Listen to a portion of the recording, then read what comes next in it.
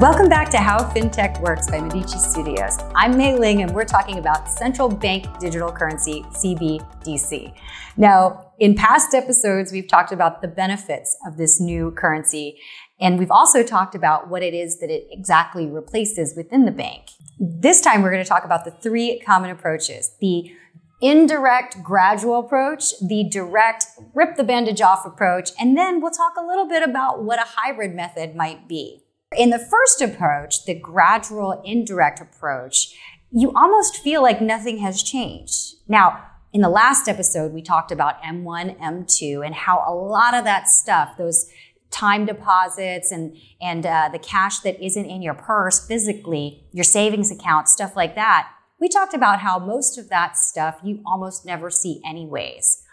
Uh, we also talked about the fact that there's a lot of transfer payments, checks that are given to you by the government. And even now, uh, you know, a lot of people get their tax returns and they check the box that all of it's directly deposited into the bank.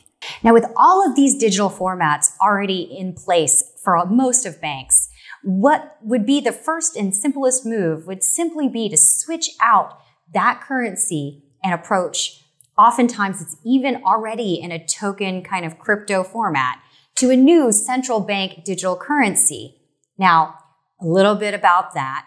Uh, whereas there might be particular things that are tracked by the bank, the central bank will then tell you what the token now needs to do and how it needs to be formatted. So that transition period should be more or less seamless. In these cases, you might not even notice that the transition is happening unless something technological really goes wrong. But even then, it would happen gradually. The shift would happen slowly. And the interaction is really just between the central bank and the banks themselves. You feel nothing. In fact, China is already testing this with four banks in their country. And I think what we'll see from them is going to really tell us a lot about what to look for when there's issues in making this transition. Now, the second approach, which is far more a rip the bandage off, very direct approach, would be for the central bank itself to start taking in accounts.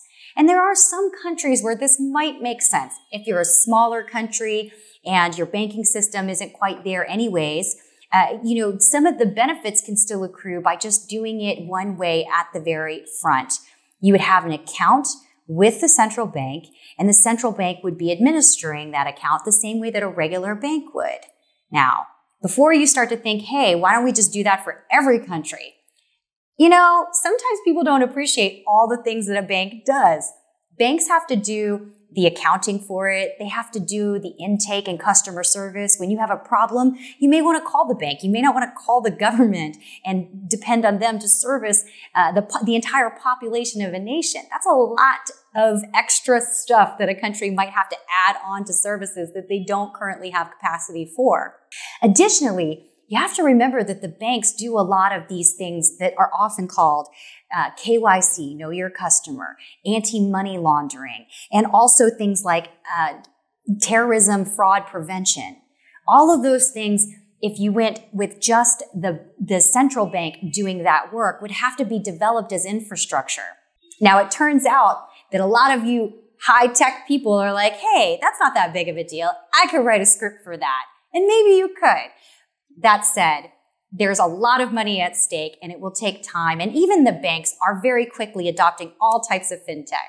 But that's a different series. And now the last approach is the hybrid approach, where you're really doing a little bit of both. And this really might make sense depending on the status of a given country's banking system. It may make sense for people to have accounts directly with the government. And it's not so crazy. There are are, for example, a lot of cases where uh, one opens an account with the Treasury. Maybe they have some Treasury bonds and they have an account there. They don't receive anything in, in uh, response for it. They just receive uh, a notification or some kind of digital receipt that they have a bond and then later they get the return of that bond still in the same account. That can be replaced with a token very easily and it would look approximately the same as what's already going on. So those three methods are, broadly speaking, the methods that are involved with CBDC. Now, a lot of you may be thinking, why is she only talking about transactions that are within a country?